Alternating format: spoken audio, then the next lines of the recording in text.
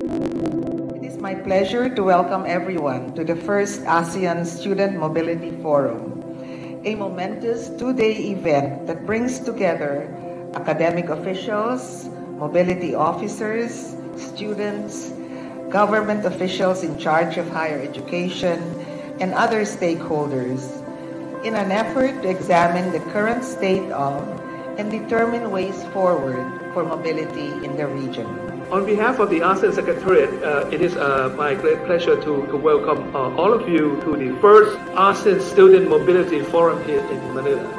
And first thing I have to say that I really like the, the logo of the student mobility.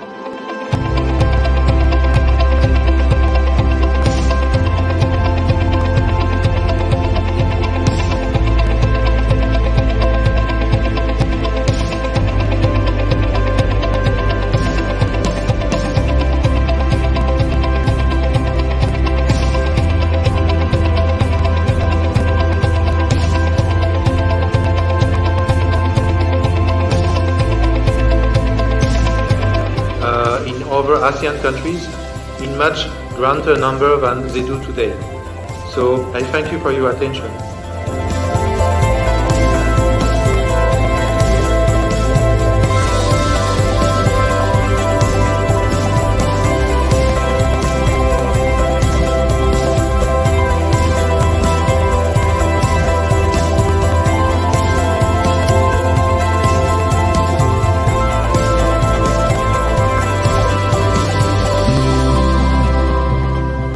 Welcome you all on behalf of SHARE, the EU support to higher education in the ASEAN region, to this first ASEAN Student Mobility Forum. For me, Kate is the perfect example of ASEAN EU uh, international mobility. Um, and I would like to give her the floor. Kate, the floor is yours. Thank you. So if you are perceptive enough, you will understand that this means studying abroad will bring the first time you love forever.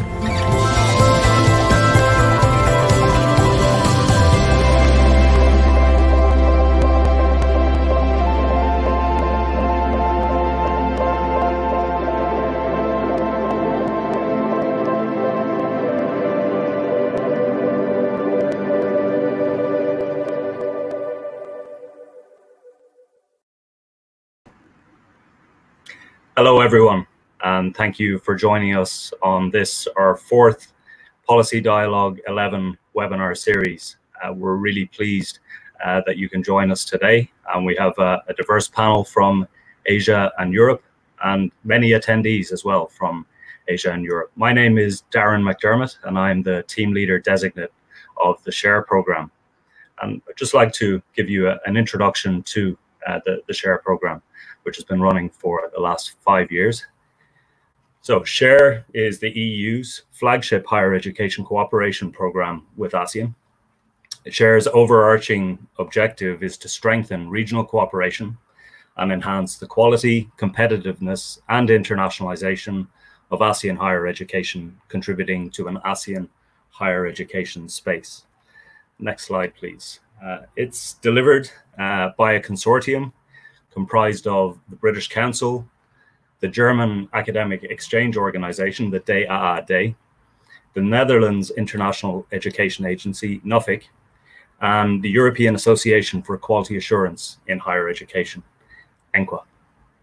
And SHARE's approach to supporting regional higher education is inclusive. The program engages with ASEAN and relevant non-ASEAN entities to build on existing initiatives to serve as a platform for SOMED and the ASEAN Secretariat to engage with the, the higher education sector. So I'm really pleased uh, that we can discuss the topic of virtual mobility and collaborative online international learning. And I'd like to, uh, I suppose, reflect on that uh, just a, a, little bit. Uh, and taking from uh, an article uh, in the most recent Forum magazine by the European Association for International Education, uh, I'd like to uh, introduce our, our moderator uh, for the session today. But before that, I'd just like to um, give you an update or uh, an, an intro into uh, the reason behind this policy dialogue series. The next slide. So we really need to look at uh, how we ensure uh, the scalability of shares activities uh, and then ensure that they are sustainable until and beyond the, the share program. Of course, we've all been struck by the challenge of, of COVID-19 uh, and we need to formulate effective strategies to deal with that and move forward uh, and look at uh, future risk and mitigation strategies for uh, the share extension. There's been significant uh, developments and innovations in the higher education space over the, the last number of years, uh, and we are looking at these concertedly with Share, and you'll hear more about these in our session later. we'd also like to look at the, the long-term uh, perspectives for the development of an ASEAN higher education space. So, as I've mentioned, we have a, an excellent panel today looking at virtual mobility and collaborative online international learning. And our moderator for the session is Mr. Piet van Hove. Piet van Hove is the director of the International Relations Officer of the, the University of Antwerp, Belgium, He's been active in internationalization, in the internationalization of higher education since 1995. And today he manages a team of 18 staff members working on student and staff mobility, North-South cooperation and capacity building, international educational projects and the strategic, strategic networking. Piet has been active in the leadership of several professional organizations and non-profits at national and international level for many years, such as the Flanders Knowledge Area, the Academic Cooperation Association, the ACA, and the NGO APOPO, which, um, if I'm not mistaken, Piet, trains uh, rats to save lives and, and detect uh, threats. So, uh, very interesting NGO. Uh, Piet is also uh, very recently the vice president elect of the European Association for International Education 2020 to 2022. And at that point, I think I'd like to just introduce uh, the EAIE Forum magazine and an article that Piet wrote on virtual mobility and collaborative online international learning uh, in its most recent uh, issue. Piet said, if traditional mobility has been the linchpin of internationalization in the analog past, then virtual mobility may steal center stage in the digital future. Developments such as the recent COVID-19 outbreak highlight the need for alternative means of facilitating meaningful online interactions across cultures and classrooms. And collaborative online international learning, or COIL, offers a systematic, systematic approach to doing exactly that. So really looking forward to hearing a lot more about this today. And I'd like to hand over to you, Piet. Thank you very much. Okay, Thank you, thank you, Darren. Thank you very much for the, the kind introduction, for the opportunity to to be with you and all our participants today. Um, yes, we are in a new new context where online learning is suddenly the norm for all of us in higher education worldwide, and surely we will learn a lot from this. And, and I think we will we will go to a future where online will keep much more importance, uh, probably uh, in combination with uh, with face-to-face and, and having an optimal blend uh, of online and face-to-face learning is our future, I think. At the same time, right now, our uh, international mobility is halted and is unsure for the uh, for the midterm even, which is very problematic, of course, for us in, in international education. Uh, at the same time, the goals that we want to achieve with, with internationalization are more important than ever uh, in, in this uh, crisis-ridden world. Um, international and intercultural competences are, are more important than ever. Global citizenship, problem solving, solidarity between people from different countries, uh, cross-cultural teamwork, all of these uh, skills are more important than ever and depend on us in internationalization to, to bring them into the curricula. So um, internationalization, of course, isn't and has never been uh, a synonym of mobility. Um, the good news is that as we face this challenge of how can we uh, engage internationally in an online, uh, uh, largely online environment. The good news is that there is a lot of experience out there uh, that we can use, and we have several panel members today who are very experienced in this area. So I think it will be a, a very interesting uh, session for for all of us. Um, I want to just throw out a, few uh, bits of terminology, even though I don't think it's it's uh, the most important thing, but still, uh, when we talk about virtual mobility and virtual exchange as as two central concepts, um, I would the distinction that's that's often made right now between those two is that virtual mobility uh, involves uh, transfer of credits. So a student taking a course at another university and getting credits for it. Um, that's and that course, since it's virtual mobility, will be taken online. That's that's the the meaning usually given to to the term virtual mobility, which I think, if we refer back to our goals international intercultural competence and these other transferable skills, I think virtual mobility in this definition is a very limited and not very interesting modality of, of internationalization. Virtual exchange, on the other hand, is a, by definition, collaborative exercise, which I like uh, much more. Both of the terms have in common that they, they include the, the word virtual, which I don't like because it seems to indicate uh, that the activities are not real. Uh, and we will get back to that probably uh, in the discussion. And it's not very useful to refer to an activity by saying what it is not. So, uh, but I'm sure after today's session, everyone will have much better idea of what is possible and what are the real useful activities that we can develop. Um, we will listen to different experiences with online learning and the link uh, between online learning and internationalization.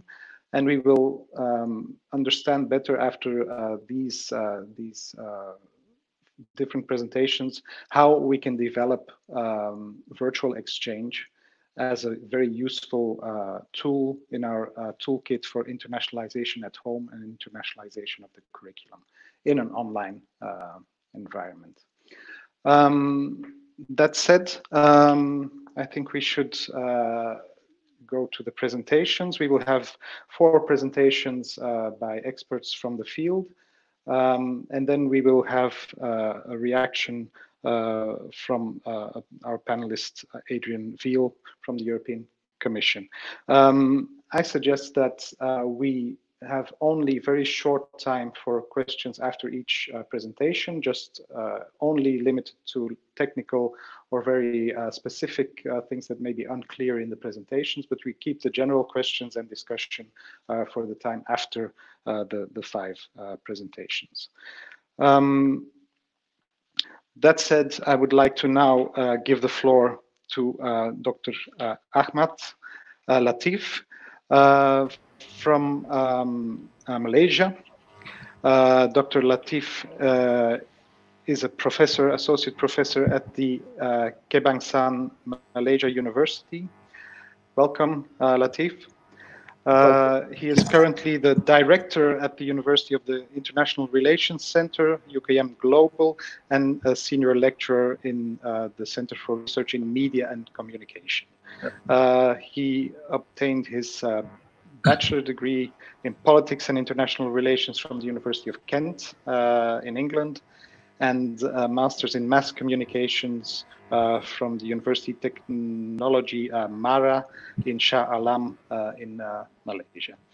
Um, and his PhD uh, from the University of Queensland, Australia, and his research focuses on intercultural communication and internationalization, which is right at the center, I think, of uh, the topics we want to discuss today. So uh, you're very welcome, Dr. Latif, and I will give the floor to you. Thank you very much, Piet. Um, can you hear me clearly? Is that okay? Hello, everyone. Um, I hope the um, audio is good here right now. Thank you. If we could go to the front page. Um, good afternoon, everyone, and also a very, very good morning to our friends in Europe. Uh, today's topic is on virtual mobility and collaborative online international um, learning for ASEAN. And we are looking at the UKM experience in dealing with this situation. If we could go to the first slide, if possible. All right, now um, defining virtual mobility is an interesting aspect. Virtual mobility basically became our buzzword, especially since COVID 19 happened and a lot of things have changed. So defining it comes into a very um, technical yet complex matter. So virtual mobility in higher education is known by the use of communication and information technologies to reach the same purpose as with physical mobility, but without the necessary, um, the necessary and necessity for travel. Now, if you could look at defining virtual uh, mobility, it takes into account so many different aspects. It could be a form of semester exchange. And at the same time, it could also be in the form of a summer program, or it could be in the form of COIL, where there's some collaborative learning. So in our experience, we're going to be sharing about what happens with our virtual mobility program uh, for our exchange students that come from different parts of the world. If we could go to the next slide, please. Now, uh, there's some strong focus on why virtual mobility is important, and it is a desire to focus on a majority of students who are not mobile and also trying to focus on internationalization at home. Yeah, and it is important for us to introduce the international dimension of teaching and learning to a group of students who are unable to go mobile. Now, if you could go to the next slide. Uh, it's quite interesting. Whenever we talk about virtual um, mobility, it's always been a challenge, and people are always saying, "Will this take place well? Uh, what are the challenges? Are the academics ready for this? You know, and would the students be able to accept it?" Now, if we're talking about university, and especially for undergraduate students, we're really focusing on the Gen Z. And here's some stereotypes of the Gen Z. They are all digital natives. They're very, very IT friendly. They're open to new ideas. For them, tradition may not be as exciting. They're a fast learner. Uh, they're also not earning as much income to travel just yet until unless their parents could support them. Um, they're also social media enthusiasts and they're living the virtual life. For example, um, esports became very popular, and no one would have thought that that would happen, uh, that someone could just sit down in front of the computer and get all excited communicating with game players from different parts of the world.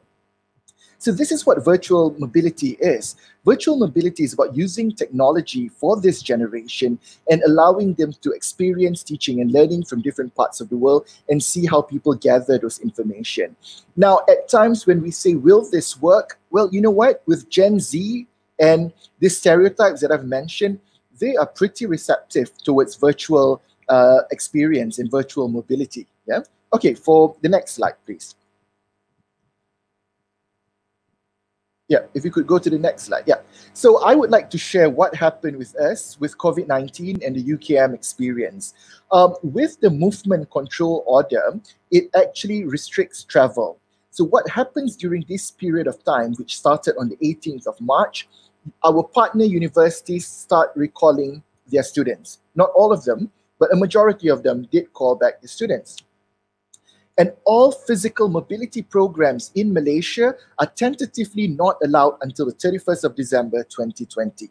So basically what we have was that we wanted to ensure that the students still get their credits and we also wanted to ensure that they're, uh, they're not losing out at the same time. So what happened is that virtual was the only option that we have. So we had various students coming from the AUN platform, coming from AIMS platform and various partner reciprocal arrangement that we have within through MOU. And what we had to do was actually come up with a virtual plan to our education. We, uh, during the movement control order, the university um, basically went on a break for six weeks. And this six weeks allowed the academics to prepare content on the virtual mode. And then when class resumes again on six week, um, there were a lot more uh, virtual content provided for the students. Okay, if you could go to the next slide. Now, the planning and, and, and, strategies were very important. Yeah, we needed to identify the courses. What courses is suitable to go on virtual mobility? Now, not all courses are specifically um, applicable. For example, there are some challenges with um, courses that require some hands-on um, uh, applications. Uh, but of course, with technologies that today, that could also have been taken place. Uh, there could be a problem in terms of, um, for example, lab work and some studio-related work that requires students to be in campus. We also need to identify academics and trainers who are excited, passionate, and able to understand this new technology that we have. I think a lot of lecturers need support in transferring information from the real world to the virtual world. There's a need to train academics to familiarize themselves with all the various technologies that exist and for them to be more at home when using the virtual realm. Yeah. Uh, we also need to develop a thorough course outline identifying the platforms that would be used, and also detailing, for example, appointment dates, meeting dates, and classroom dates. Yeah. So we've got to clearly detail out the mode of delivery, if we're using Zoom for synchronous, or if you're required to do videos that requires them to post onto YouTube. Those are things that need to be highlighted as well. We also have to consider all possible options of virtual delivery. Please understand that what we necessarily like or practice may not be the easiest way or the most feasible to our students. Some of these platforms or application takes up more data plans for students, and students um, are quite restricted in terms of the technology that they've been provided with, and also the access to um, to the to the technology that they have. For example, what we have in Malaysia in UKM, we had a sponsor uh, who came in and actually, well, an industry player who came in and provided uh, free internet for our students as well. We also need to understand international student base, where they are going to be. So if students are from ASEAN countries, it doesn't um, carry a lot of difference in terms of time zones, but actually there are challenges as well if your students are based in Europe and you're handling the classes in Malaysia, for example. Also try to understand the language barriers that may exist with the students. And uh, there's also a need to have support to academics and students. We in UKM actually have a support system or a telecounseling service for students who are overwhelmed with the new virtual mobility. We are there to guide them, and it's also to academics to ask for support and to go for counseling or need assistance in terms of how to use this new technology. And it's always good to get feedback from our students in terms of how they're feeling uh, that the virtual mobility class is going on as. All right, um, next please.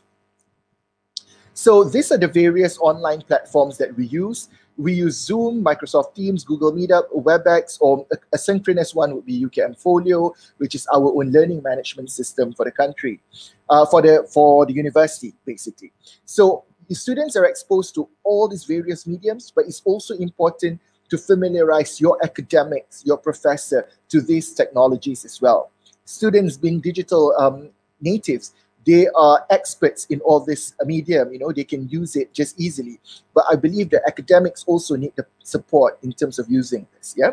All right, next please. Uh, these are some of the programs. I apologize that a lot of them are in the national language here, but these are some of the support that we offer our um, academics and our professors in coming up with virtual mobility courses, yeah, uh, online courses as well. So they are expected to um, attend these webinars or these courses and these classes for them to understand the usage of the technology. Next, please. All right, now for academics, I think it's important to understand that virtual mobility is not just about taking all the physical class content and transferring it online. Now, it's a whole different realm, and you need to be very creative and explore what the younger generation want. It's not about transferring a three hour lecture onto YouTube and students listening to it. You know, you've got to have links, you've got to associate it to YouTube's, for example. It's a whole different environment. It it, it would be a failure if we just record our class and that's it. There's other elements to virtual um, mobility that we can enhance further. Now, for our students, uh, next slide, please. Yeah, for our students, they need to find out how the program is being delivered, and they also need to be ensured that they have access to internet and technology required. They also need to be able to ask as many questions as possible and see how this will affect them as students you know. There are some challenges in terms of handling this virtual mobility program such as if there's some assignments or there's some group activities that they have to do and especially issues relating to time zone if it involves other parts of the world. But students need to be proactive. It's no longer just about coming to classes but it's ensuring that your schedule is up to date and that you are very very you understand how the virtual mobility is being run Okay, uh, next example, please. So this is an example of our mobility session, you know, where um, this is my class where we have mobility students from Indonesia came in. And also we had our students from Melbourne. Uh, one of my ex-students and Afghanistan students who's studying in Melbourne now shares their experience to my um, my uh, master's uh, mobility students and also my local students. So they had so much fun because of the interactiveness that exists across the globe. All right, uh, next video, please. Uh, next PowerPoint. Yeah. So this one is an example uh, where we usually organize um, virtual, uh, we organize a student mobility farewell program for students. So we just wanted to show you how in the picture on the left, you will see how we do it normally for our student mobility farewell but uh, with a Christmas celebration. But this year, the virtual mobility farewell was done through Zoom. And we had our students, even in the US, coming in 12 hours behind us and also participating in the event. And our students from Kazakhstan, Malaysia, Indonesia, and also ASEAN countries. Uh, this is some of the experience that they've shared how their program had to be transformed into a virtual mobility program from the physical mobility. Uh, next slide, please. So where UKM is looking at is that we need to get feedback from the international students participating in this virtual mobility. Um, we need to get their information and how they feel about the whole program and how it has affected them and whether they find it effective. We're looking at training for more academics um, to be more ready uh, with this new uh, way of doing things. We're exploring COIL at the moment. We are planning for participation with our Japanese partner under the University Mobility of Asia Pacific program. There's a COIL program coming up, and we look forward to that. We want to establish short-term summer programs through the virtual uh, mobility format, and that may take some challenges as well, but we're trying to find some elements that could actually explain things, especially in terms of enhancing cross-cultural competence. And we hope that with more collaborative effort that would take place, we are developing programs with Australia, Mexico, and Indonesia. Uh, with Australia, we're hoping to come up with a business innovation challenge where industry players will also come in and students needs to brainstorm and come up with some interesting business plan for them to do. And this will be done through the virtual realm and the incorporation of virtual and physical mobility for the future. So maybe they can spend less time here, but more effective spending of time. So basically, next slide, please basically that's my very very short i hope i'm in time 10 minutes presentation. And if there's any question you can email me or we can go to the chat session after this. Thank you. Okay thank you. Thank you very much latif. That was a, a very uh, interesting overview of where you stand in relation to to virtual exchange and virtual mobility and you introduced some of the the key concepts thank you um, so uh, and I didn't see any uh, very specific question pop up so far uh, in the chat about your presentation. So I, I think uh, we could move on uh, to the uh, next speaker and, and have the in-depth discussion, including with you uh, immediately afterwards. Thank you very much. So our next speaker is Professor Thuy from Vietnam National University in Hanoi. Um, welcome, Professor Thuy. Um, Professor Thuy received a, a, law degree and a PhD degree uh, from uh, Moldova National University uh, in Moldova. Uh, she has been a professor, an associate professor since 2009, um, working as a lecturer in finance and banking law. Uh, at the uh, School of Law at Vietnam National University. Uh, she uh, was appointed Director of Human Resource Development in 2014, and since 2015, she's the Deputy Director of the Academic Affairs Department at Vietnam uh, National University in Hanoi. Um, Dr. Thuy has published many books, articles, research projects, uh, on higher education and finance, banking law, and business law. Welcome, uh, Professor Thuy, and uh, please, we look forward to your presentation. Uh, thank you very much for introduction. Um, good afternoon, everyone. Um, I'd like to uh, share with you our experience uh, from Vietnam National University Hanoi on um, online training. and uh, so please, uh, next slide. Next slide, so please. Yes, yeah. Um, our uh, the title of the presentation is uh, virtual training uh, lessons from VNU and uh, prospects for shares collaborative online international learning uh, code.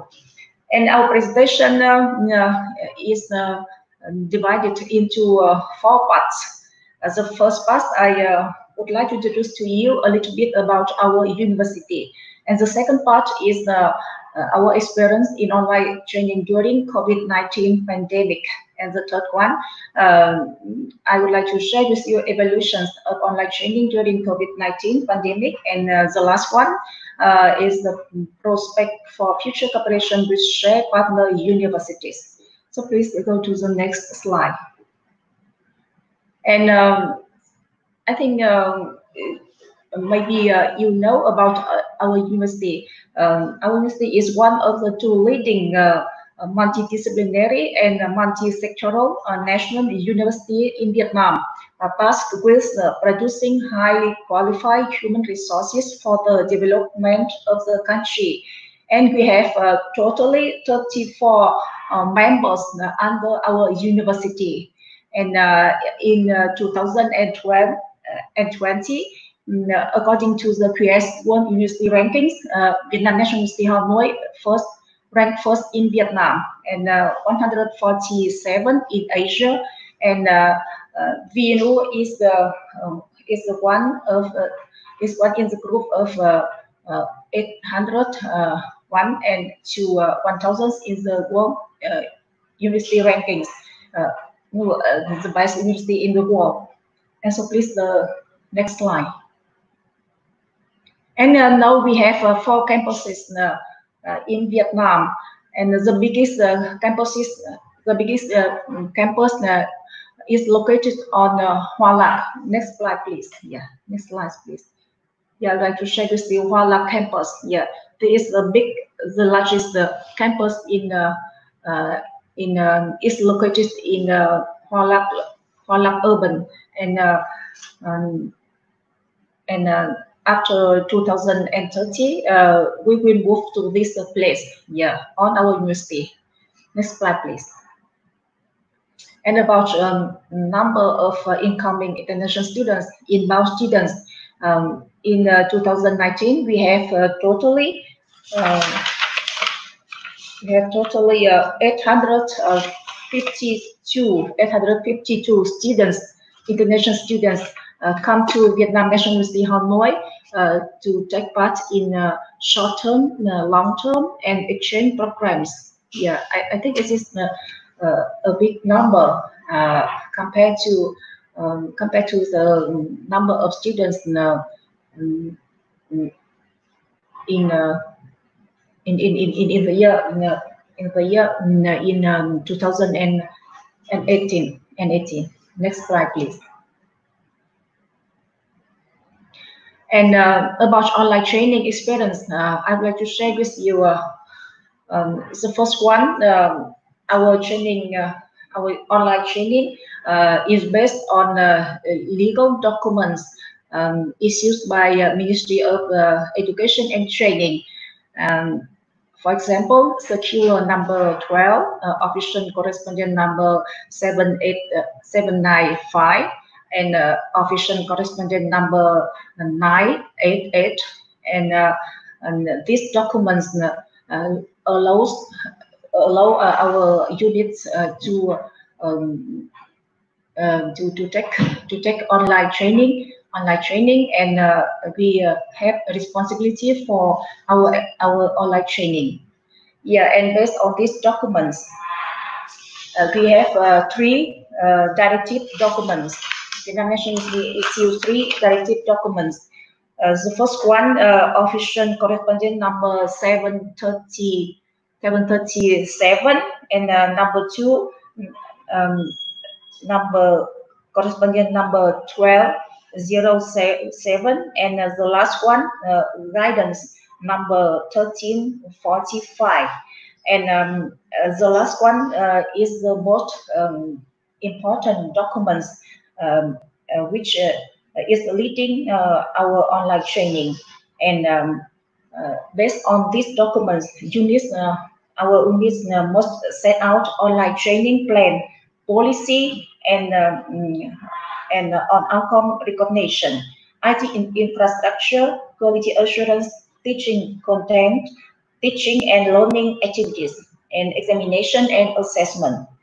And uh, so please, next slide.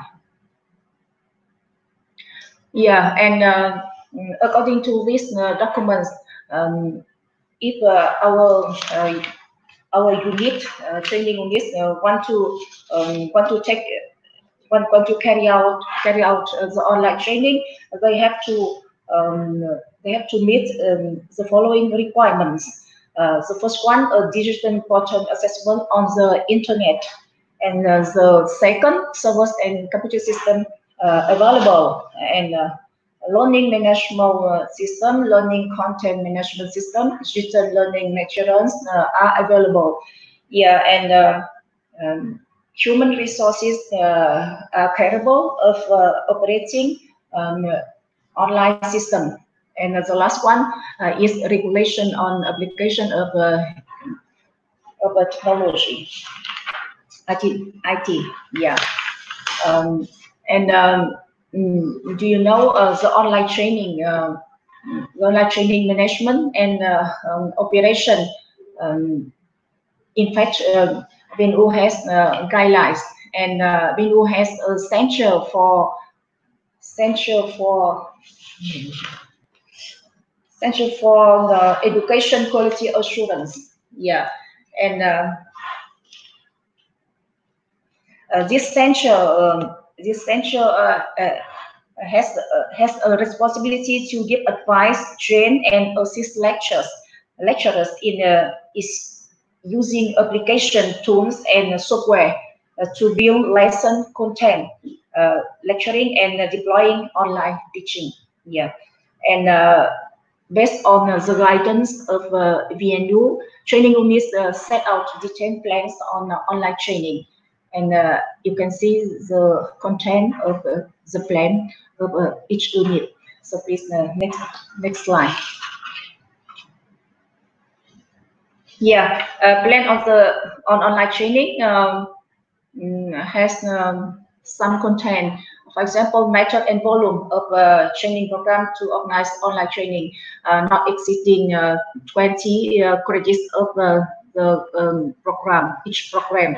A timetable of teaching software that allows students to register course and uh, to teach uh, and to, to learn to learn uh, lessons. Yeah, monitoring, request teachers to record the lesson, procedure, register email address, and uh, ensure necessary technical and technical support requirements. And the plan has um, um, has to uh, show on digital learning materials to meet the needs of learners. Yeah, and uh, in the plan, um, each uh, training unit uh, has to uh, has to show the um, updating electronic lectures and at least once a year and uh, online system for security checkups and regular updates to match the needs of users. Yeah, that is uh, the content of the plan of online training made by uh, each uh, training unit of your university. Yeah, so uh, please next slide. And I would like to share uh, this use case of our University of Engineering and Technology, UET. Yeah, and uh, in this university, um, the lecture, the lecture, visual lecture for a lesson of at least uh, 25 minutes. Yeah, and uh, besides that, the lecturers can uh, discuss with students uh, and can show uh, students video clip and um, maybe and and, and some experiments. Yeah, the results of the experiments uh, made by them, made by themselves. Yeah, and uh, in this university, uh, there are two modes, two modes. one of these real-time synchronous, and the other one is asynchronous. Yeah, and the, the first one, uh, the first one was lecturers and students attend online classroom. Yeah, and the second one um, students watch only watch video lecture and um, they have to do the given task assignments here. Yeah, okay, so please, uh, the next slide. Yeah, uh, pre um, in online training experience, um, our university uh, require um, our training units uh, to follow to uh, quality assurance principles. Principles. Uh, the first principles uh, is about is about the content of the module, and the content of the module must meet the standards for learning outcomes of the module and uh, curriculum. Yeah, and uh, this module and curriculum uh, are approved by the department and or faculty before teaching, before teaching by uh, lecturers, by lecturers. And uh, the second uh, principle is the about teaching and learning activities. And these are designed to promote the skills, different skills of students and uh, this way to improve the learners uh, lifelong learning ability. Yeah, so we have uh, two principles in online training. And uh, about tools for online training, yeah, uh, I think uh, every university can use different applications, services. for example, Microsoft Teams, Zoom, Google Classroom, and um, maybe each university can um, can design uh, can design specific um, specific tools for their uh, online training. Um, for example, um, applications uh, like a learning management system. Yeah. And um, the next slide, please. Yeah, uh, uh, online training uh, experience at VNU. So uh, uh, our guidance uh, states us uh, the lecturer has uh, some responsibilities. Uh, for example, prepare and deliver online lessons yeah, this is a very uh, important responsibility uh, for our lecturers.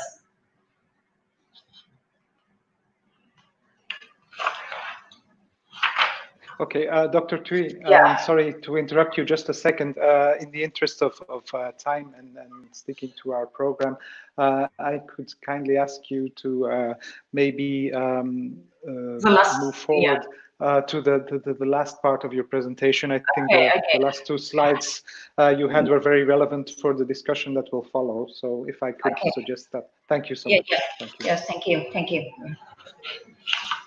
So please, yeah. Uh, so um, I'd like to share with you some uh, um, feedback from uh, online training uh, online training in uh.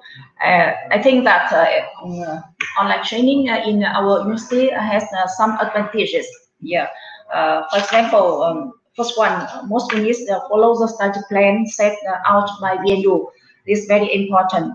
And the second one, modules are taught in accordance with course outlines. outline tests and assessment are recognized as components. Yeah.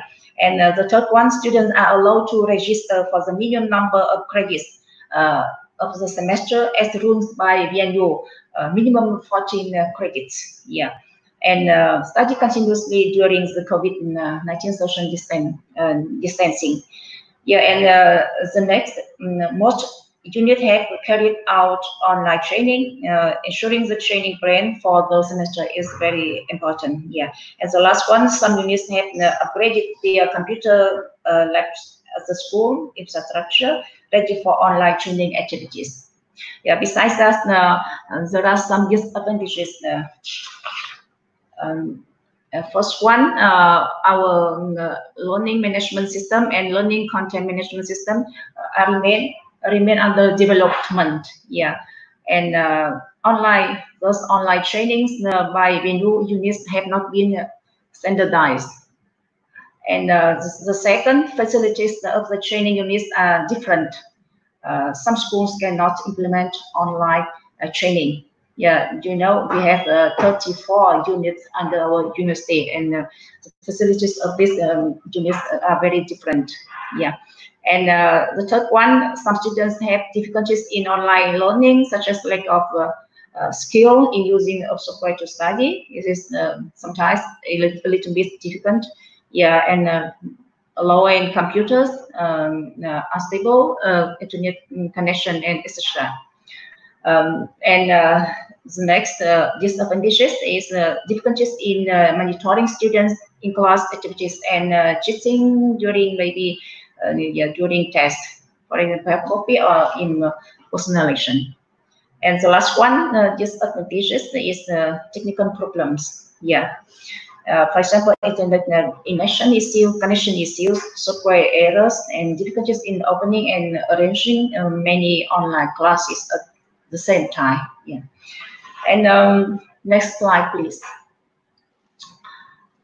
Uh, and um, I'd like to uh, post some solutions to develop online training. Yeah, so first one, uh, design uh, LMS and LCMS system. And the second, uh, design online examination, including multiple choice and essays for students to show their skills and knowledge uh, clearly and avoid cheating. Yeah, the third one, organize instructional section, set up Zalo groups or to share teaching learning experience for teachers and students. Um, and the fourth, lecturers and lecturers uh, must be such an, sufficiently provided to students before lesson. This is important. Yeah, and uh, preparedness for technical issues such as language overload or emergency technical support. Yeah, and um, solutions for cooperation development. Yeah, so next slide, please. Yeah, prospects for future cooperation. I'd like to say that uh, VNU is willing to cooperate with partner universities in uh, share. Yeah, and uh, some our university, some of our schools have IT system, very modern IT system and necessary utilization capable of conducting online training. And uh, we have a modern library system with a diversity of written documents to be utilized in online training and ready for um. Next, please. And the last, yeah. And solution, uh, I think so. Uh, uh, first one, we have to share, have to uh, set up common regulations on online training, uh, standardized online training system. For example, uh, in this um, in this um, document, um, we have to propose some requirements on softwares, course outlines, like lectures, activities, examinations, assessments, and evaluation, uh, credit recognition, IT administration, etc. And uh, the second one, uh, share has to establish the specific requirements for exchange students uh, when uh, learning online. For example, language requirements, uh, learning skills, skills, for example, uh, communication skills, group working skills, presentation skill, yeah, the third one is um, Share has to organize online courses in addition to the ASEAN uh, schools courses by uh, fields of uh, training for students to join and obtain credit. Yeah, and uh, continue, of course, uh, Share continues to organize conferences, seminars on uh, different topics relating to internet internalizations in um, higher education and um, provide financial support for co and strengthen uh, promotional activities and communication about COIL. Yeah, I think um, there is uh, some solutions for uh, cooperation in the future. Thank you very much for attention. Okay, thank you very much, uh, Dr. Tui, for this overview of where you stand in uh, the transfer to online learning and what possibilities you see for the future. Uh, thank you very much. Uh, we will move on uh, to the next presenter, who is my colleague Simone Hackett from the Netherlands. She is at the Hague University of Applied Sciences, where she works as a senior lecturer, researcher, and head of internationalization at the Faculty of Health and Sports. She has over 13 years uh, of experience in internationalization and virtual exchange. Uh, she's um, a member of the leadership of the EAIE um, and has uh, been working in recent years to expand uh, COIL uh, throughout uh, the institutions where she has worked, previously Utrecht University of Applied Sciences and now the Hague University of Applied Sciences. So welcome, Simone, and thank you for taking the time to share your uh, views on the topic. And uh, please uh, go ahead with your presentation. Thank you.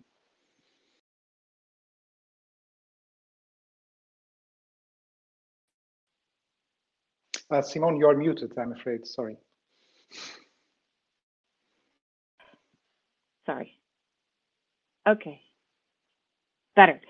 So good afternoon. Thank you, Piet, for the introduction. Uh, good afternoon to everybody who has tuned into us. Um, so I'm going to discuss virtual exchange collaborative online international learning COIL in the Netherlands and Europe as well. Um, so first of all, I want to start with um, the term virtual exchange.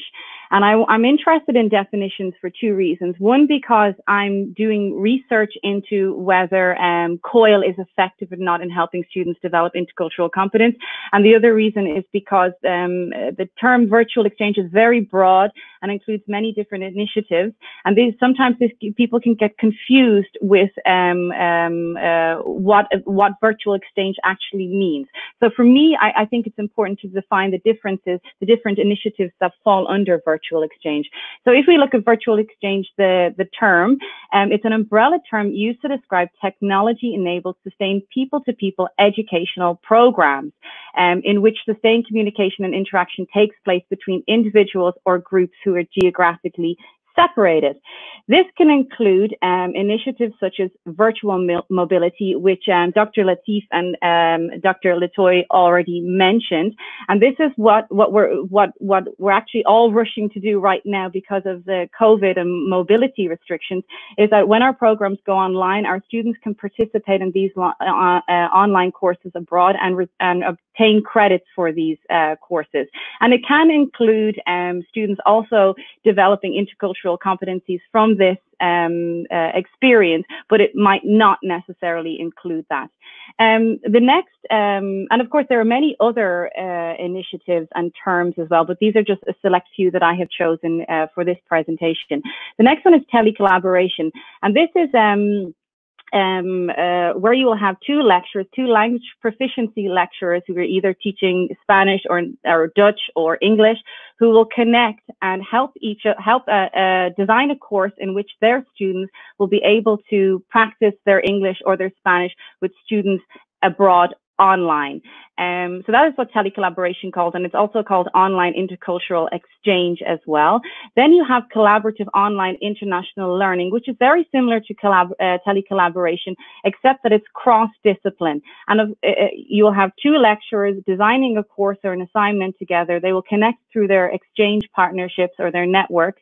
They will develop this assignment, this course uh, together. The students will participate in this course or assignment online for a specific amount of time. And through this experience, they will develop skills, uh, intercultural competencies, as well as skills in their specific subject. Perhaps it's health, engineering, um, um, uh, teacher training, etc. Then you also have online intercultural dialogue, and this is a pre-made course, I suppose, online course, uh, which uh, organizations such as Sharing Perspective or, Erasmus Plus have designed. And it, it, doesn't involve two lecturers designing a course together or an assignment together. It's already pre-made, and students can enroll in this course and in this course, they will be able to participate in dialogues, discussions, conversations with other students abroad online on various topics. Um, and the end goal, of course, is to improve or, or, develop, further develop their intercultural communication skills and their cultural knowledge as well. Um, Erasmus Plus Virtual Exchange um, is, is a combination of uh, COIL and online intercultural dialogue. So Erasmus Plus Virtual Exchange, the EVE program, has set up trainings for online intercultural dialogue and, and training for COIL typed courses um, for uh, lecturers who are interested in developing these courses. And they will also help you find a partner to develop these uh, COIL assignments or, or, or courses with. Um, and I will give you the, the links to uh, Erasmus Virtual Exchange as well in this presentation. So I'm going to focus on collaborative online international learning because that's my expertise. That's what I've been uh, developing over the years and teaching as well and what I'm researching at the moment. So let's, why are we doing it? So in the Netherlands, only 22% of Dutch students go abroad. So what about the remaining 78%? Do they get an international experience? We want to make sure that they do. So there is a need to internationalize, internationalize at home instead of sending these students abroad to uh, develop and uh, uh, obtain intercultural competence. Um, we also have to consider future challenges and developments such as social, economic, health, and environmental um, challenges, issues, uh, developments. Um, so um, as educators, it's our responsibility to prepare our students for these challenges. In addition to this, we have mobility restrictions, such as looking at the uh, at global warming. According to Robin Shields' paper 2019, um, the the total emissions from uh, student mobility is equivalent to the total emissions from a whole country such as Tunisia or or Croatia. So, given this, um, it's not unlikely that in the future there will be more um, uh, emphasis put on uh, or restrictions put, put on travel and car, perhaps even carbon taxes introduced on travel, which will make it more expensive to go abroad. So students, more students might not uh, choose to go abroad, and universities also will will take this social responsibility in not sending their students abroad. And of course, viruses such as COVID, which has put a stop on uh, mobility for the uh, foreseeable future. Um, our responsibility to help our students develop skills to help to to um, adapt in these situations, and this is why we are um, introducing COIL and virtual exchange initiatives. Um, it's relatively affordable to implement, so it doesn't involve um, uh, sending your lecturers abroad or sending your students abroad. Although that's not to say that it doesn't uh, take time to develop a course like this. Of course, it does. It's much more um, time partner. Um, you have to develop it together. You have to rely on your partner, build up a relationship with your partner, and this all takes time. So it, it's it's affordable in in in, in perhaps cost thinking about flights or travel, but it's um, in time it can be expensive because it is going to take more time to develop it. Um, partnering is an advantage for um, our exchange partners or our research partners because it can strengthen an, ex uh, an existing partnership um, that perhaps there's there's nothing happening with that partnership at the moment. There's no students traveling there. There's no research being done with this partner, and this COIL will give it a boost by bonding the two universities together. What's in it for the academics? Um, broadening of teaching and learning skills, understanding uh, and knowledge, joint international research projects. So, for example, I'm um, doing a joint research paper with my COIL partner in New York now, which we hope to get published. So, this is an example of how what, what's in it for me. Why why would I do this as well? Um, so, if we look at what it actually is, so it's a teaching and learning tool that helps students and educators develop intercultural competence amongst other skills as well across shared multicultural online learning environments. It's internationalization at home as opposed to internationalization abroad. It's a shared syllabus teaching approach. Um, as I said, that you have to have a partner to develop the assignment, to develop the course with. So you can, you, you will find this partner through your networks, through your uh, international office. If you contact your international office, they will give you a list of your of the of the international partners you have abroad. You can contact these to ask uh, whether they are whether they are developing COIL courses, or you can find it through perhaps a conference in your discipline, um, another lecturer who would be interested in developing uh, a COIL course. Um, uh, it adds an international dimension to regular face-to-face -face classes in the blended format, and that was in the past. But now, for, for example, for me, all my courses are going to be online next semester, so it's completely online. There is no blended format all, uh, at the moment um, uh, until probably January or so. But in the past, we did it in the blend, blended format. If you'd have a regular face-to-face face class, you could add this international dimension to it um, uh, online. Um, yes. So COIL falls under the social constructivist educational uh, approach of collaborative online learning or collaborative learning, which is quite important. So um, it's not just about um, giving uh, students an assignment and they will they will just learn by completing the assignment. The learning happens um, through the interaction, through the, social interaction with their peers uh, within their class and also with the peers online and their teacher as well. And through this learning, um, uh, through this collaboration, this is where they learn. They learn, for, they they acquire knowledge and they acquire new knowledge, and it evolves over time. So this is very important that we that we put the emphasis on the collaboration between students um, within COIL. Um, it's very popular within the Netherlands. Uh, Utrecht University started with in 2012, and Amsterdam University of Applied started in 2013, and other universities followed, like The Hague University, where I'm working, Maastricht University, and other University Applied Sciences and Research universities within the Netherlands. This gave rise to the first European COIL conference, which was held in 2016 at The Hague University of Applied Sciences.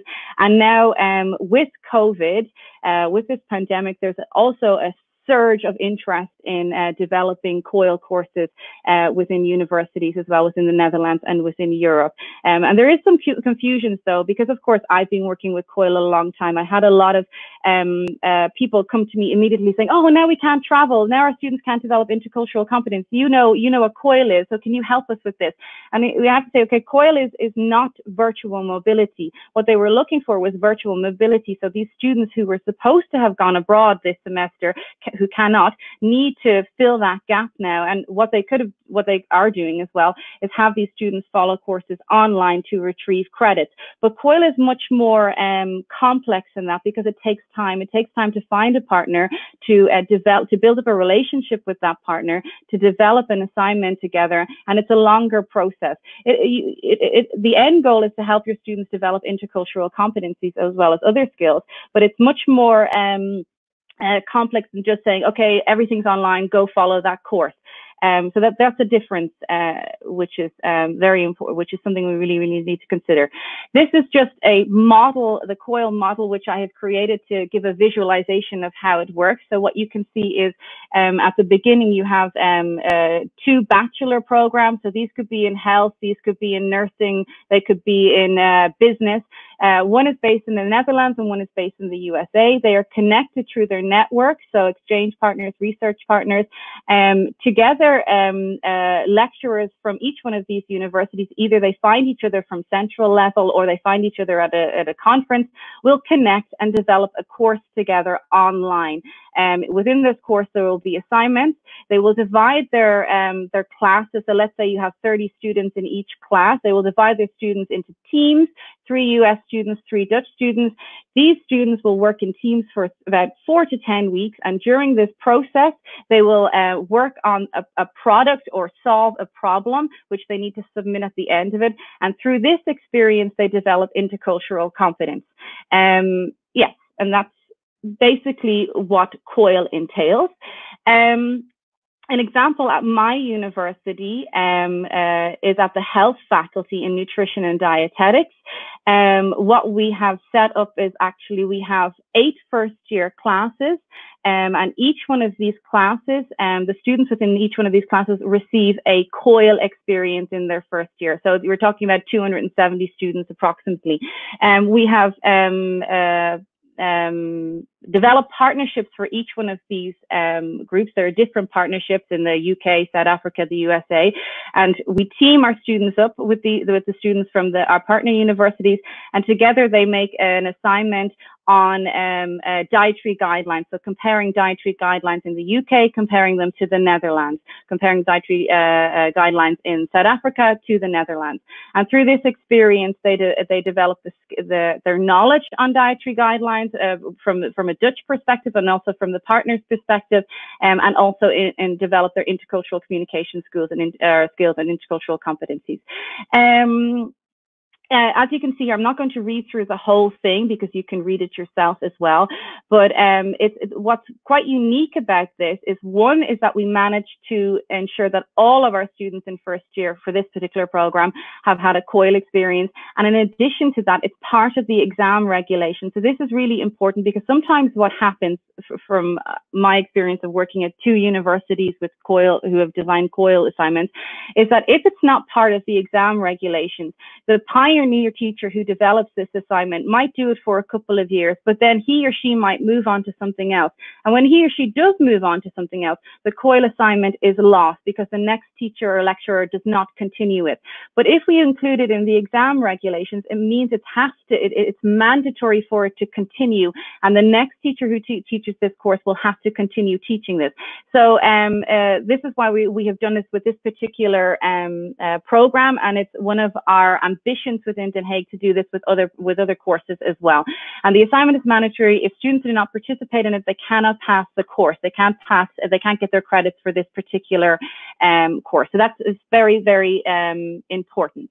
And these are just some examples of the assignments that I did in this course of comparing the UK to the Netherlands in terms of um, uh, yeah, nutritional assessment or um, intake and things like that, and uh, and also the the nutritional um, um, uh, plans such as the pyramid, the wheel, etc.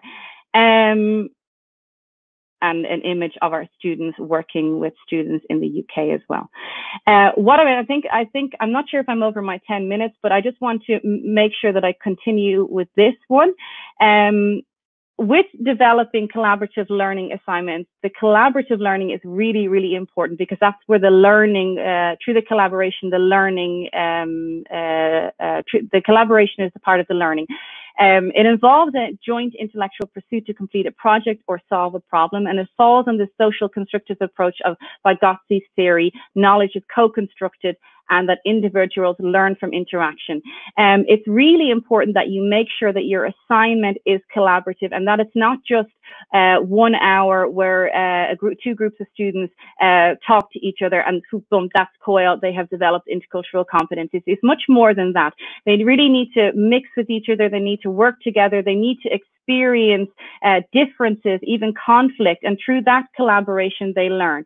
So uh, if you look at the important, under important COIL assignment must be collaborative, it must be complex so that it's not just one of the team members can develop the assignment and uh, by themselves and the others can be idle. It has to be really complex so that they need each other, um, and that's the dependence part. They need each other to complete the assignment. It should involve groups of two or more students. Um, so perhaps you could have one-on-one each side, like a buddy system, or teams of uh, of six, three on the, like for example, my example, three on the US side and three on the Dutch side, uh, communicating and working online, um, either at the same time or in, in different time zones. I personally think that it's better when the classes are synced within uh, class time, uh, and then it's really dedicated time where the students can communicate and work together. Um, assess the project, the assignment that you're going to um, that they submit, but also the collaborative process as well. Because as I said, that's the learning process and that's the really the important part. Of course, the product, the end goal is also important, but really the learning happens through the collaborative process. So I would try to assess that. A duration, a minimum of four to 10 weeks um, I think is necessary um, to really experience, to have this international experience and develop these competencies. And the lecturers and students are both facilitating the learning process, so they're both very important in this um, uh, in this course or this assignment. Um, I want to move on to getting started and um, finding a partner because I saw some of the questions that came up in the in the live feed there. Someone's like, how can you how can you find a partner? Um, as I said before, you can find a partner by using your contacts. Either if you go to conferences uh, as an academic, if you go to conferences, or if you're working, um, you have a whole list of exchange partners for research or different projects. Contact these universities and see if they are interested in developing um, COIL assignments. And the SUNY COIL Global Network. So COIL started started at State University in New York. That's what SUNY stands for. And they have a whole website, the, the, the SUNY COIL Center have a whole website with resources and information. So you can go to this as well to find a partner as well. They have a global network partnership with different universities who are involved in COIL. Erasmus and Virtual Exchange have a page dedicated, the EVE project, they have a, a page dedicated to trainings in COIL, um, trainings in virtual exchange, trainings in intercultural dialogue. Check it out. They can also help you find a partner. Also, another one, Uni Collaboration, which is um, started with the telecollaboration um, method and has developed further across discipline. But they also have a lot of different um, resources and tools and contacts that you can um, check out. When seeking for, when looking for a partner, what what what should you um uh what what what are you looking for? Equal commitment. So it's very important that both sides are committed to developing the assignment.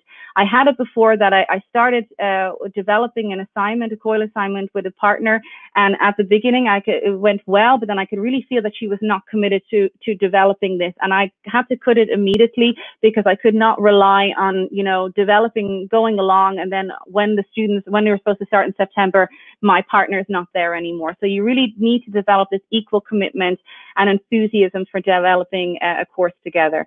Uh, shared course development, uh, differences in institution, culture, organization. Also, um, uh, you know, are, do you both have the same goal? Um, do you both want to achieve the same things? Uh, it also goes for the curriculum as well. What what are the end? What's the end goal? What are the learning outcomes? And keeping an open mind as well, and um, and and and expecting the unexpected, I suppose. Um, for um, when developing the course, uh, and this is my second last slide, and then I'm finished. Um, so, quick practical questions to ask a potential partner when developing this assignment. So, how many students is it involved? How many groups, how many teams of students. This is important one to ask. How many credits are involved? Because what might happen is that maybe one course is only worth one credit and the other course is worth 10 credits. So the amount of effort the students might put into this assignment might be very different. So you need to get a balance so that they're putting the same amount of effort in, my experiences. How long will the course be? When will it start? When will it finish? Um, if it's 10 weeks or it's 20 weeks, are there any holidays in that, in that time? We need to determine these things so that we're totally in sync. How and where would you be able to fit in a COIL project into the main program or course?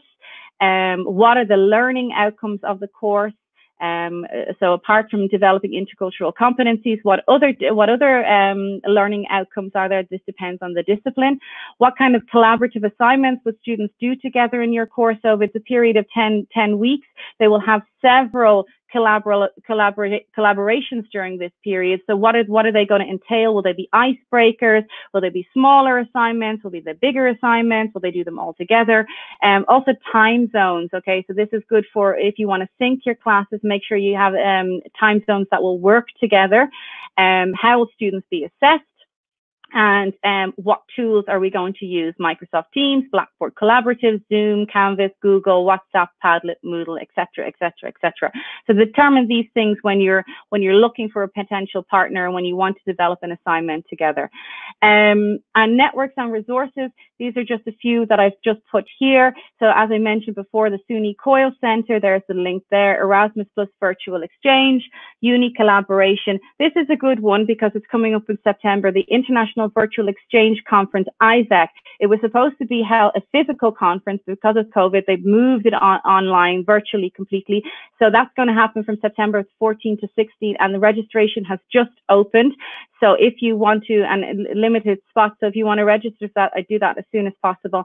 And of course, the European Association for International Education, um, they are always posting resources, uh, literature, um, blogs, etc., on different um, educational approaches and methods. And one of these is also virtual exchange and COIL. So you can check that out as well. And that's it. I'm finished. Thank you. Okay, thank you. Thank you very much, Simone, for uh, for outlining the concept of COIL uh, with us yeah. and bringing some practical examples and also showing the complexity of the uh, yeah. of uh, implementing COILs. So um, we see that uh, it's not as easy as just copy pasting. Uh, yeah. Uh, online. Okay, uh, I suggest we move on immediately to our next speaker. Um, Professor Ikeda, Keiko Ikeda, is from Kansai uh, University in Japan. She is a professor in the Division of International Affairs and also the COIL co coordinator for Kansai University, which is, as far as I know, a pioneering university in that respect in Asia. Um, she's also now the vice director of the Institute for Innovative Global Education, uh, at uh, Kansai University, and her interests are in internationalization at home and constructing active learning programs, uh, collaborating with universities overseas. Uh, welcome, uh, Keiko, and the floor is yours. Hey, thank you so much. I hope everybody can see my slides. Um, I will try to be brief and concise, but I'd like to have a mini um, to bring you many food for thought. Um, all the panelists today have already brought a lot of information about COIL and then other virtual exchange and virtual, virtual mobility. So um, some might uh, resonate, and I try to uh, try to be brief on that part, and then uh, explore more of a, a student's perspectives and what's merit for them for my presentation. So I'll go ahead on that. All right. So um, just to get to the definition part just briefly, so online project-based practice is COIL, Collaborative Online International. Then it's also known as virtual exchange as well in a different regions, and, and I think definition differences has been already laid out. It's a pedagogy and how to have students engage in a learning with overseas institution, and be it a class to class or be peers to peers with a carefully designed curriculum. He applies IT tools, of course, mostly the tools available on the web, to have students carry out a project-based task in a virtual team with the various backgrounds. COIL is a team teaching effort. domestic and overseas courses are offered in different institutions. It provides a project-based learning to the students in an international team setting. Because of the design of the practice, COIL enables teachers to bring collaborative learning to students. It also engages students more to the classroom learning. And from various cross-cultural encounters and communication that students will go through, it brings a high impact learning effect as a learning outcome, and that's what we want. As institutions seek to expand course offerings, there might be an increasing necessity to share courses through virtual exchange, alliances, um, and registries. In doing so, potentially a greater number of students will have access to intercultural classes offered by partner institutions around the world, thus re-emphasizing discipline-specific learning over destination-oriented traveling.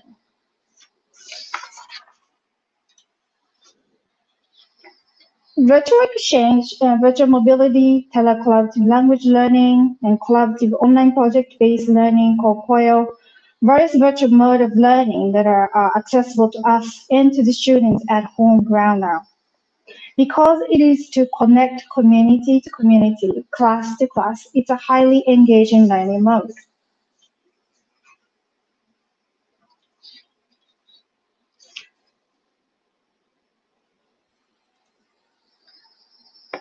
Similar to Simone, she has mentioned it a little bit, but let me argue about the body of COIL from a different perspective environmental care. Study abroad almost always involves air traveling, obviously, arguably the most fuel-intensive way to move around. For example, a, round trip from New York to London, about 7,000 miles, produces something on the order of three tons of CO2 per passenger. Collaborative and immersive learning brought by Virtual Exchange or COIL would enhance the learning effect. It contributes to change in understanding, actions, and the vision of their belief system while not creating more carbon footprints.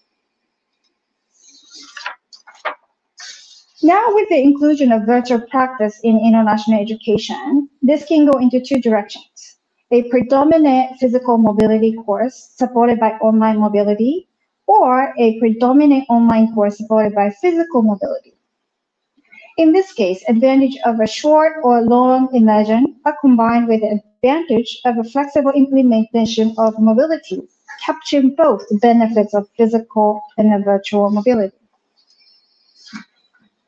For students' perspectives uh, and what we want to bring to students, virtual exchange and COIL or, and virtual mobility also can bring ways ashore and create future-ready attributes for graduates at each institution to be future ready in the time what we live in. And this means a lot more in depth now that we are going through the COVID time. One needs to have various skills in hand, perhaps more than what, what was expected when many of us actually are watching this uh, webinar, were just about to graduate from college.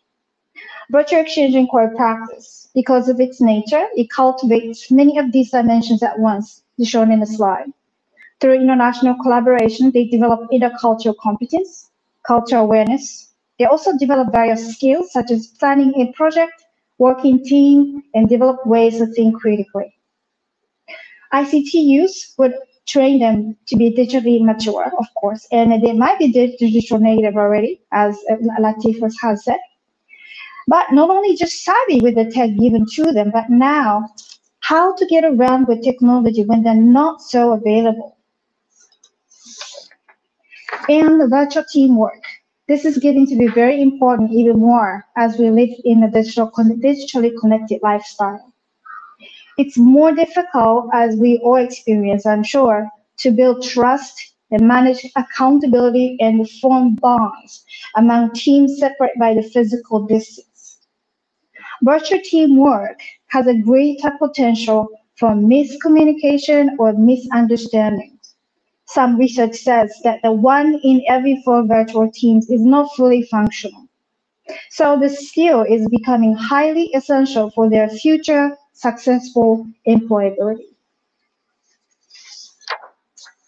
From a senior international officer perspective, which I am, Virtual Exchange COIL has merits to adapt as well. One foremost would be that it enables institutions to establish stronger university partnerships. Susan Sutton uh, has laid out nicely of types of unsuccessful university partnerships in overview, which you can see inside here.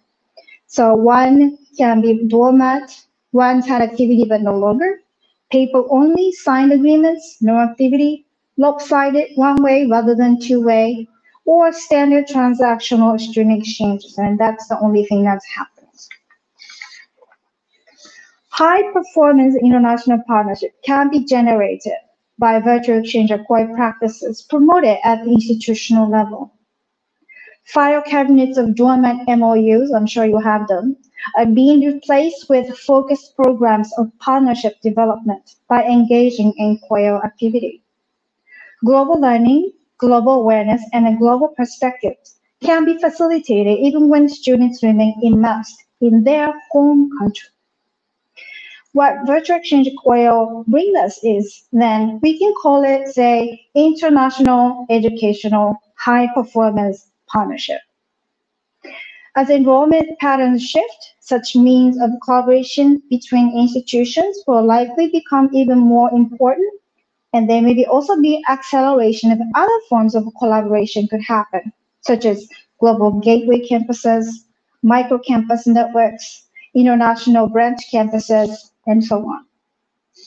So many potentials there by accepting a practice virtual exchange or COIL, and even for virtual mobility. I'll stop here for now, and if you seek more information about us, Kansai University, where I belong, We've been doing the COIL practice for the six years now. And IIGE, that's my institution. If you can contact me at this email address, or you can Google up IIGE and our homepage will pop up. Thank you so much. Okay, thank you very much, Keiko, for your brief but very to the point uh, presentation.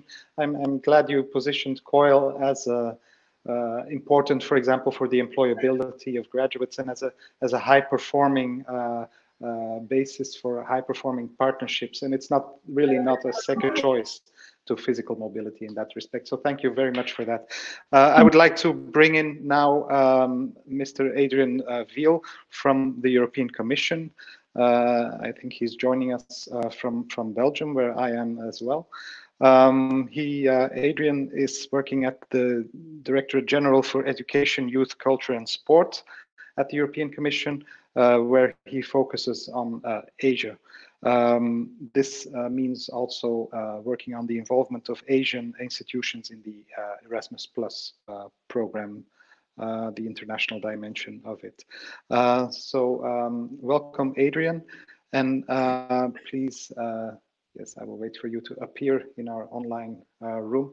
Thank you, uh, Adrian, for uh, taking the time to be with us. Uh, and please, uh, I would invite you to share your views on what has been said and what this can mean for uh, from your point of view. Thank you.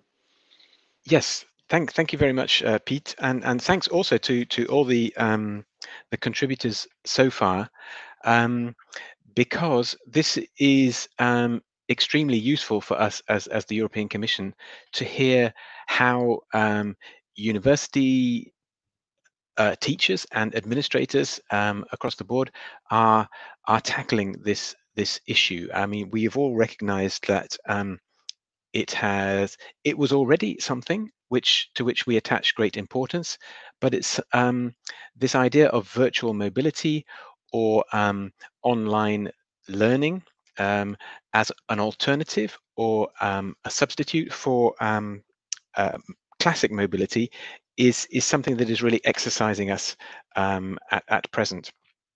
What I'd like to do is is just take you through um, a couple of um, areas where I think it will be interesting for uh, the EU and uh, ASEAN countries to, to use the SHARE program to to exchange ideas, good practice, um, recommendations on um, the way that uh, the higher education sector can uh, can embrace these um, what are relatively new concepts of, of online mobility.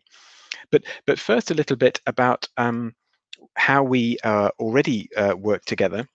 Uh, perhaps if we could uh, take the next slide. Um, we have, uh, and, and, the next one, we have a program for mobility between uh, the EU and the rest of the world. So we have our classic Erasmus mobility program for students and staff inside Europe. And since 2014, we have a program between Europe and the rest of the world. Um, you'll see ASEAN um, is quite re well represented in, in that program. So we have um, both mobility in both directions um, to um, all ASEAN countries. It's, it's very limited for, for Brunei and, and Singapore. That's a little bit to do with, with budget, but those um, mobilities are based on partnerships between universities. And they obviously are now uh, looking at how to or how or if to adapt these classic mobility partnerships um, to include some sort of online learning. Um, the whole of the Erasmus Plus program has been very, very busy over the last three or four months, um, allowing for some flexibility um, to include blended learning as, as part of, of the Erasmus offer. Um, I should say a little bit about Erasmus as a whole. It's been going for over 30 years, and actually there's a sort of political um, rationale for it, as well as an education rationale. So you have to see Erasmus Plus as part of the EU's own plans for better regional integration, better regional understanding. And I think there's a great parallel with ASEAN here. If, if you work on, if you get the education sector, you get young people um, understanding each other, better linked to each other, then um, you are helping a, a, larger process of regional integration. And this is why um, the classic mobility model is actually so important. You you actually go to another country, you experience, uh, get to know the people, the, the, the systems, if you like, um, and, and this intercultural aspect was, was a very important part of, of Erasmus. The other part of Erasmus um, cooperation is um, capacity building projects in the next slide. Um, these are more institutional um, projects between universities in Europe on the one hand and in ASEAN countries on the other. Um, I've got two examples here because these are, on the next slide, these are looking at um, the way that universities can work together to tackle uh, thematic issues. So you've got a regional project here in, in Southeast Asia looking at digital capacities in higher education and you have a national project focused more on Vietnam. You can have both types of projects under capacity building, which is looking at um, more online skills among teachers uh, in uh, in vocational education and training um, in in Vietnam. So these capacity building projects um, go hand in hand with the mobility projects. They're they're getting um, Europeans and Asians working together to address, you know, common challenges uh, that that they face in in both continents. So I think, you know, we can find some um, some food for thought in what these projects are doing to help um, see the best ways we can adapt our mobility programs. Um, going to the next slide, um, sharing practice. Um, I think there is a lot we can uh, share. There's a lot we can discuss on the way that um, Europe um, is now planning to deal with uh, digital in the largest sense, if you like. Um, next slide. It was always um, it was always going to be a major priority. Um, digital skills among society as a whole is part of our current Commission's uh, priorities. So we will have um, a digital education action plan. You can see what's being proposed. There is a, uh, at the moment, there's an online consultation for this um, action plan, which is meant to to build um, skills in, uh, in, in teaching, uh, in systems to make the education uh, systems more digital, and to instill um, uh, digital competencies uh, among students. So it, it's addressing all three aspects of the systems, the learners, and, and the teachers to try and um, help create a Europe uh, that is better placed to um, to be competitive, I guess, on on the international uh, digital stage. Um, but we also have um, a number of other areas. We have Erasmus Virtual Exchange um, that Simona had mentioned. It's uh, a program more to to get that intercultural understanding going in regions that maybe were not so easy to bring together. Um, this this was started off with the southern Mediterranean. So in many countries where the classic uh, mobility, for example, with Syria, with Libya, was not possible to um, uh, to start up. Uh, so virtual exchange was actually born out of those um, uh, constraints of um, getting people to move. But I think we've seen other reasons why um, we need to to look very carefully at um, whether physical mobility is the answer. We, we've had, we, um, you know, this uh, question of sustainability. Perhaps digital can make education more inclusive. It's a bit of a double-edged sword that you might make uh, the education more available to a wider body of people, but you might close out some people uh, depending on how well equipped they are to, to follow it.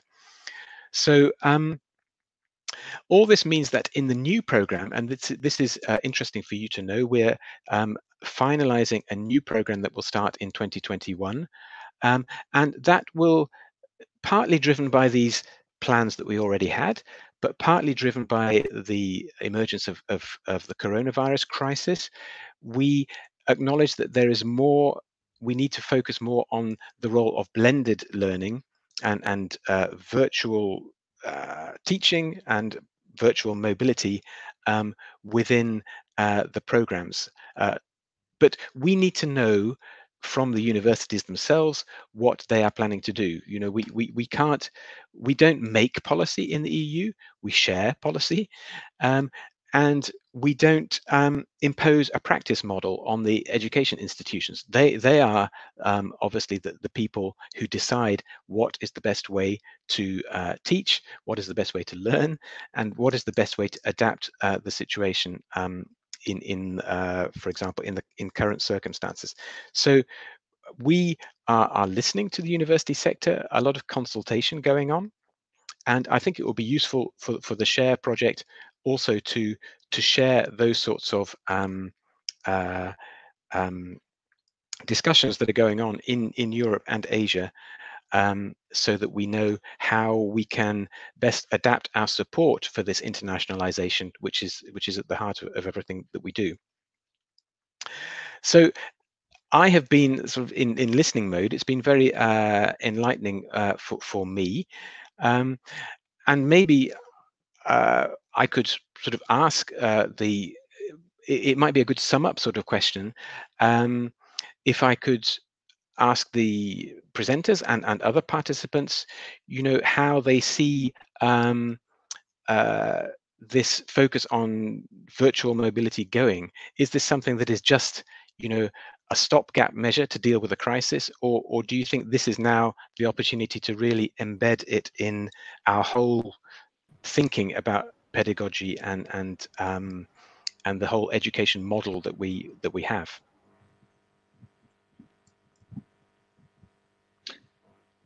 Yes, uh, please. Um, this question is directed to all the panelists, so if I could ask you one by one, maybe to give your brief comments uh, and reflect on, on, on the question. Yes, uh, Simone, please uh, go ahead. Um, definitely, I think because most lecturers, all academics, have been forced to um, put their classes online now. Um, they are now more acquainted with using um, uh, technology. So that really has helped. Um, uh, I think that really will help in um, uh, perhaps uh, including COIL-like courses, assignments within their programs now. So that's really um, um an advantage for this. Um, to, to think that um, COIL will um, uh, we will do COIL instead of going abroad. I, I don't think so. What we need to determine first is what competencies we want our students to acquire. What do we what do we want them to learn? What the, what skills do they need to have um, to be effective in the labor market or in the profession? And that's something that we need to determine. And then we can see at what level um, they need to acquire these competencies and whether COIL, um, uh, whether we can use COIL to get to that level. Um, and that also brings in um, the topic of research. So now we are all using COIL and uh, virtual exchange, but we still need to do more research into whether it is effective or not and how it is effective.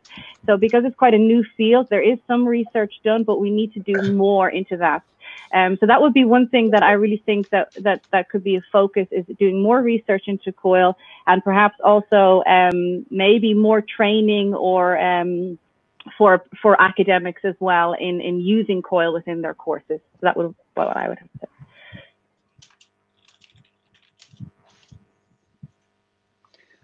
Okay, thank you, Simone, for sharing your thoughts. I will just go in the order I see you on the screen. Uh, Keiko, could you please uh, comment from your side? Sure. Um, what I would think it's an immediate change or probably um, dynamics paradigm shift is that um, I've seen recently that student mobility um, being very emphasized, particularly in Japan as well. Um, and then the, the, length of mobility getting shorter and shorter. Some research says it's less than eight weeks is the more popular length of student mobility. But with this COVID and then being having the virtual alternative available and also the blended model of mobility, physical mobility and the virtual mobility and the virtual exchange and COIL now available. Um, I predict that uh, mobility, um, the physical mobility will be revisited and considered for whether that's really a worthwhile doing it or not. And if that, that's the case, the length of the mobility probably going to be a little bit longer. For example, that you go there for a one year or one semester long rather than a two weeks or three weeks short and come back.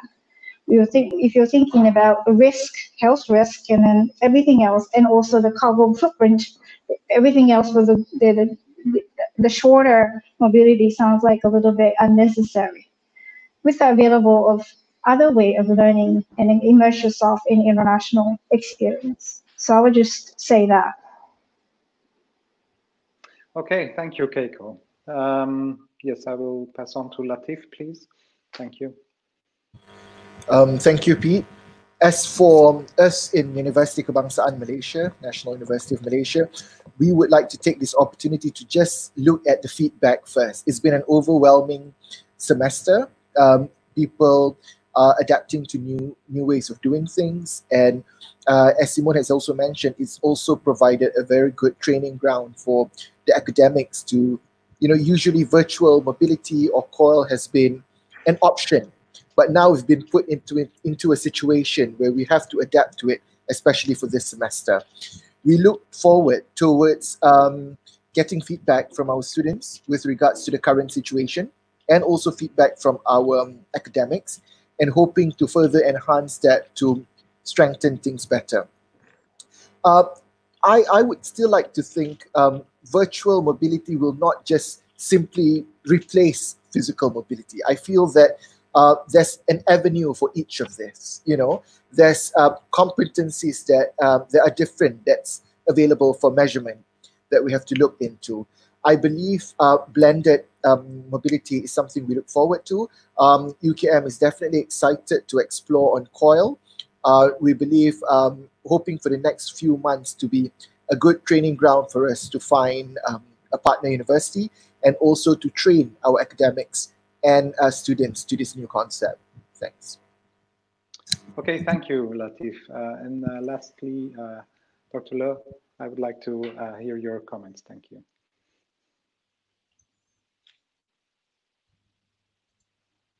Uh, sorry, you are uh, muted right now. Please unmute. Yes, thank you. No, uh, it's muted again. Sorry. Yeah. So can you hear? Yeah. Can yes. you hear me? Thank you. Yes. Okay.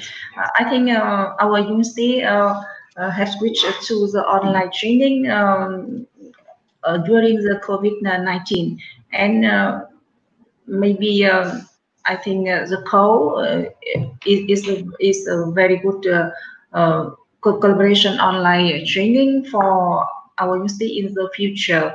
But mm, but I think we need to set out the MMS and LCMS system and design online online examination, uh, uh, organize instruction uh, sections, um, and uh, design materials lect- lectures uh, lectures must be sufficiently provided to students uh, before lesson. And uh, i think we have to prepare uh, so much um, mm, things to do a code in our university. Yeah.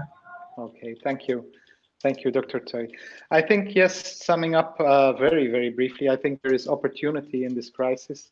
And I think we've heard many great ideas on how we can actually uh, use creativity and online communications to bring uh, international experience to all students uh, at our universities. And that I think would be a great outcome if we can work towards that. But on the other hand, there are many moving parts to this. It's not obvious to do, to do it well.